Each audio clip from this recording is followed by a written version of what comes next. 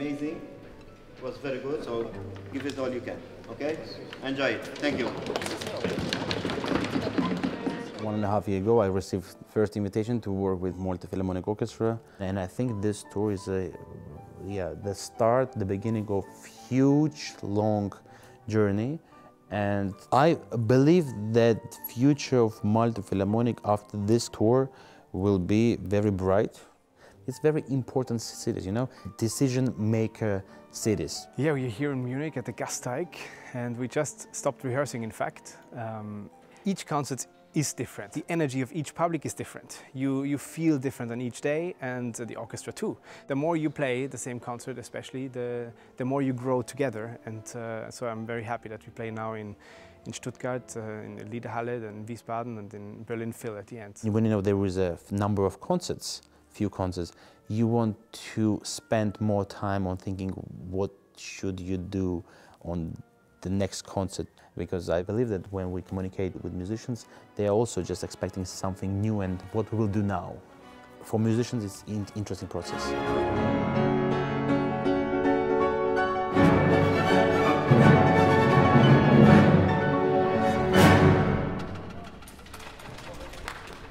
Playing in one of the best halls in Europe. It's very motivating for, for all of us. It is indeed a great one, and there have been some amazing orchestras that have performed here. So, in many respects, coming here, it's really a big task to carry on. It's a huge honor for every each one of us. And it's not just an honor, it's also a joy, because this is the first time that Malta Philharmonic Orchestra is representing the country in such big halls.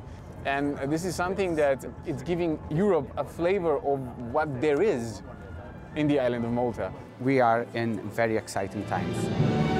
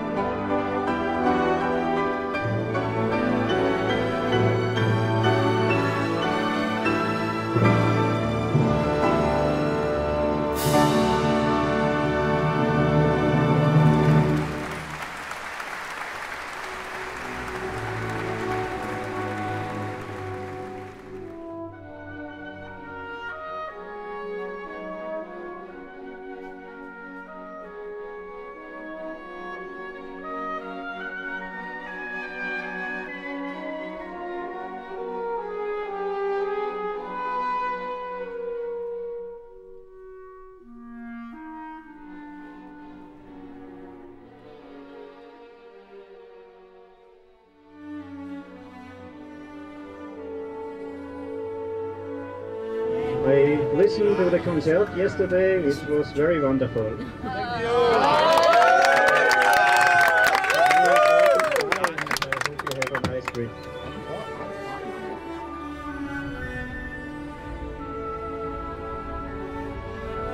Two days ago, we performed the first concert, uh, the first of our five concerts here in Germany. We were all very excited on the stage, and I think never heard the orchestra play with such energy and such dedication. You could see that in the reaction of the audience, uh, which was in fact overwhelming. Playing in these wonderful halls uh, gives us a new idea of how orchestra can sound, and it was uh, in fact overwhelming for us as well uh, to experience that because uh, it, the instrument sounds different. The general sound of the orchestra is much more open. So we were really happy to experience that. And uh, we are also very, very uh, eager to see how it will sound in the Liederhalle, because Liederhalle is also one of the very famous halls in Germany.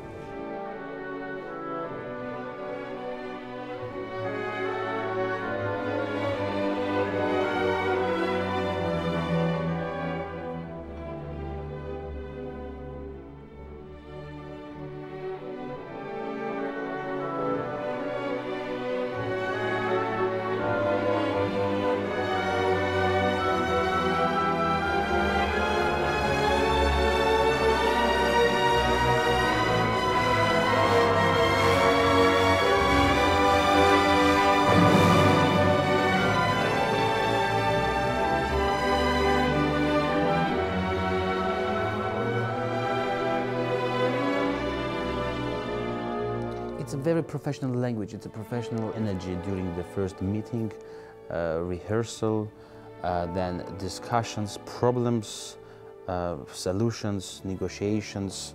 Uh, it's a period, I mean, it's a time that we spend um, during the rehearsal. It's, it's, it's magic. It's like a chemistry, how it works, and if, if it works, it works also during the concert. But of course, the first experience, this is the, the very sensitive thing that it's hard to describe. With Malta Philharmonic, it was extremely warm welcome, and I'm extremely happy for this.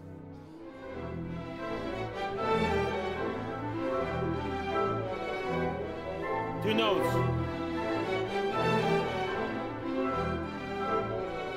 There, don't push him. Pum, pum, pum, pum. Piano. Good. Can we do 25, please?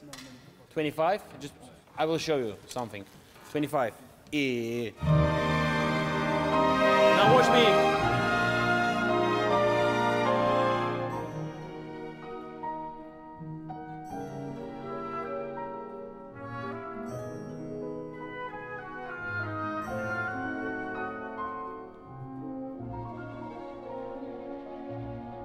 The great things about this tour is the venues, of course, and we have our own unique sound, and it's great that we're presenting Maltese culture to a foreign audience, but it's also great to hear the orchestra in these amazing acoustics. Absolutely. So you actually hear it like a um, better orchestra and a different orchestra than we hear it at home.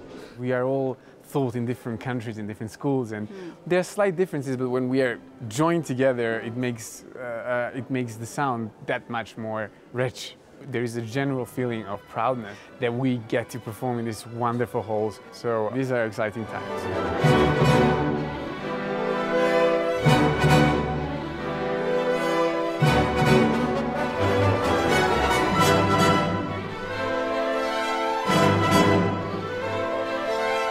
As always, the second performance is always more round, more together, more, you know, we breathe together more than the first concert. Although the first concert was already very good. And um, so I look very, much forward to today.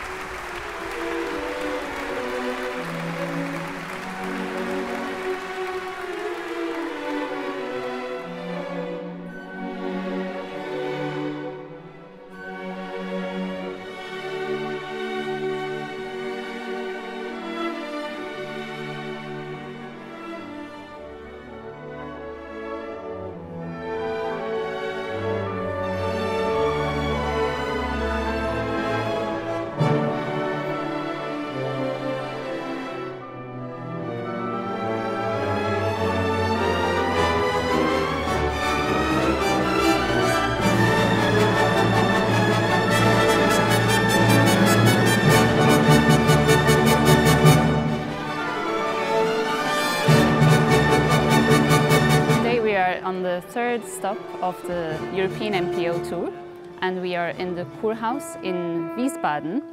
Um, it's a beautiful Art Nouveau hall, so this is quite different to the other two halls where we have been. And I think this hall is also very special for the Malta Philharmonic. Um, I think until a few years ago it was quite unimaginable really for the orchestra.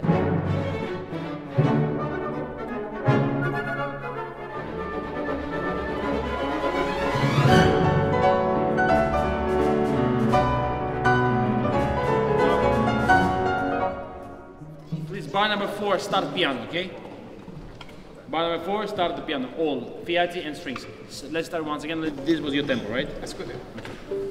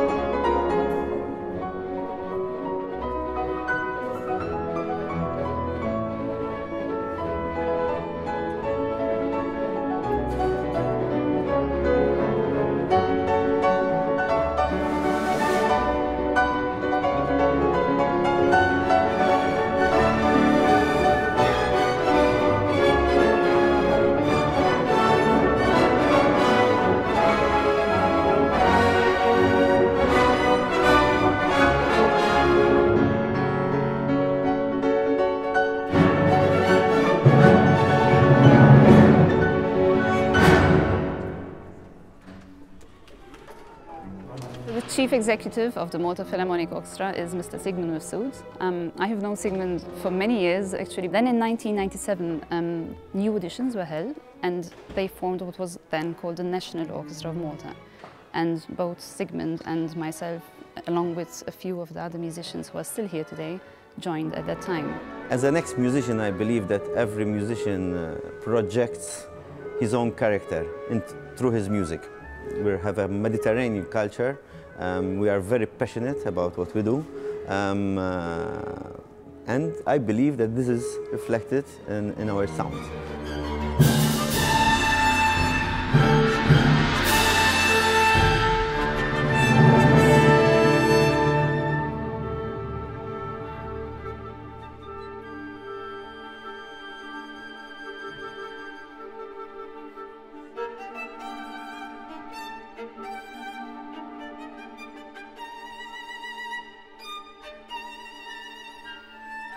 It's wonderful to have someone who has previously been a musician in an orchestra who knew exactly what was lacking and what we all wished to have. And he made it a point, I think, when he took over this job, to try to achieve as many of these goals as possible.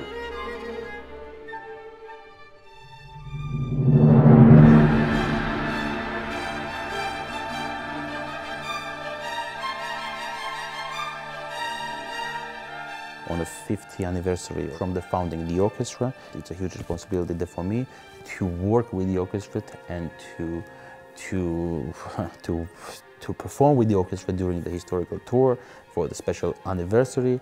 I'm very pleased that Sergei also um, was very enthusiastic about including uh, Maltese composition and we commissioned this composition for David Carpenter as an opening and at the same time as, as a solo piece for viola and it's, it's, it's an honor uh, for, our, for, for our Maltese composer Albert Garcia to have his music played in such venues.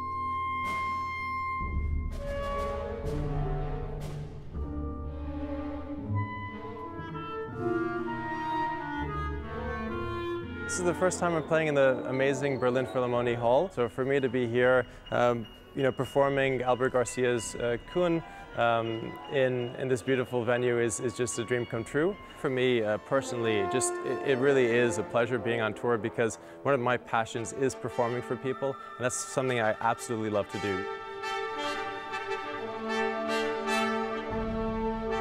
It really is a dream come true to be performing in all these venues. And I think on tour you kind of, you, you begin to understand more about yourself, your sense of style, um, your playing style, the way you interact with musicians, your, you know, the, the, the attentiveness you have to each detail. Uh, and for me it's just been a great progress, you know, it's just from the very beginning. You could hear the orchestra just coming together as, as one unit um, as well. So it's just a really beautiful thing just to kind of interact and get to see all this, this incredible music making happening during this week.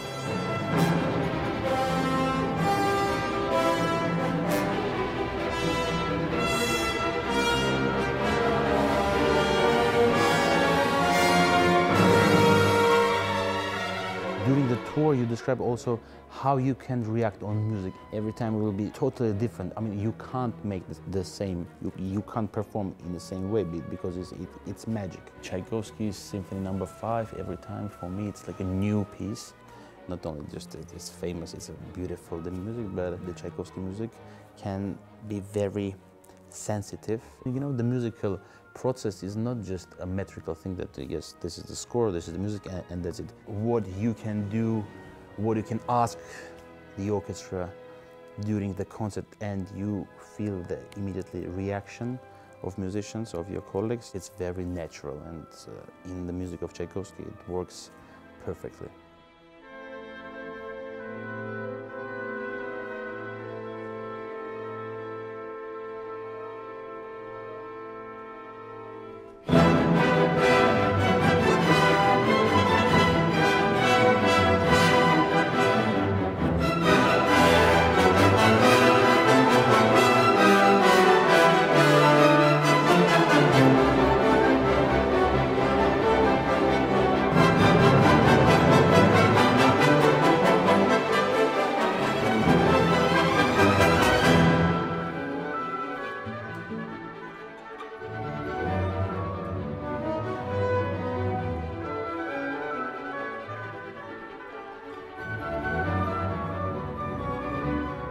We are now in uh, the historic Musikverein of Vienna. This historic building had many, many great musicians and to this day it's uh, Parnas. It's the highest point of a musician career to play here.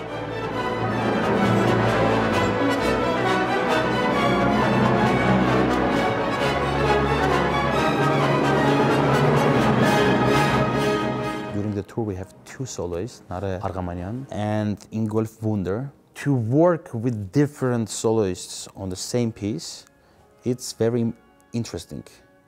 Uh, and I can see this also in the eyes of the orchestra, then same phrase, same music, I mean, even the same tempos, metrically, but different colors, different energy, different interpretation.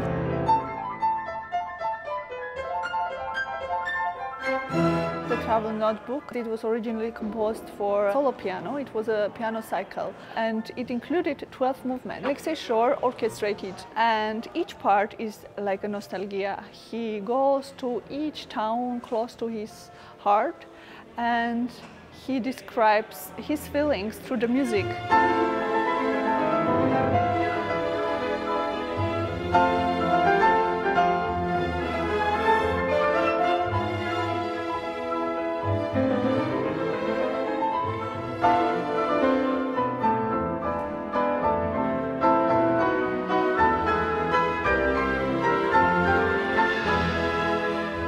I spoke with, the, with Alexey Shor about the, uh, about the interpretation, and I know that also pianist Ingolf and Nareh contacted with. That's why I believe that they know what they want to hear from themselves. Aside from winning competitions a while ago, both of these pianists have developed into world-class stars. And uh, I know Nareh very well. Uh, she's the one who premiered this piece several years ago and played it many times around the world.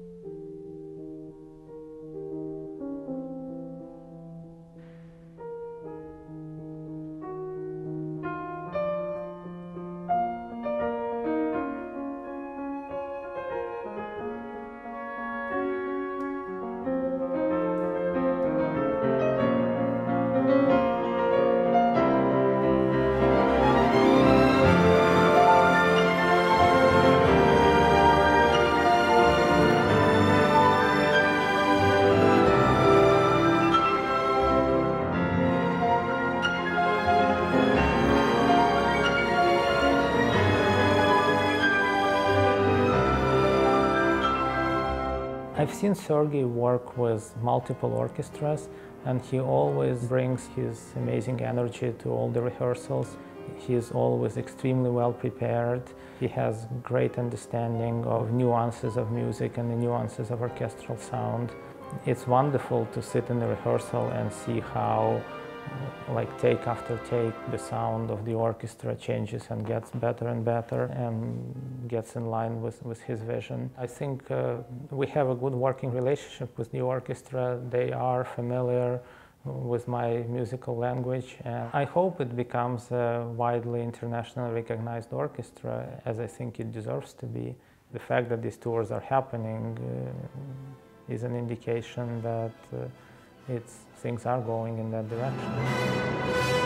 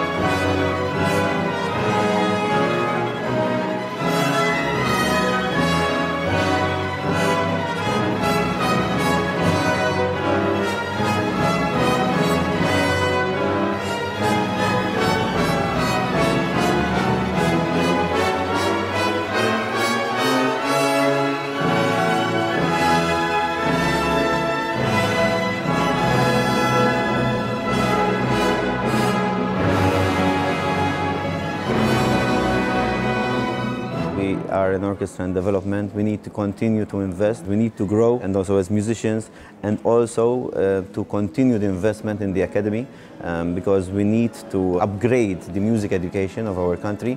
And we, as Malta Philharmonic Orchestra, we believe we can encourage um, our young musicians to dream to become the uh, next uh, professional musicians. The orchestras like Malta Philharmonic Orchestra, new orchestra on the market with a fresh feeling and extremely warm um, relations between the musicians. It's also very important for the orchestra. Um, I believe that a great future is coming up.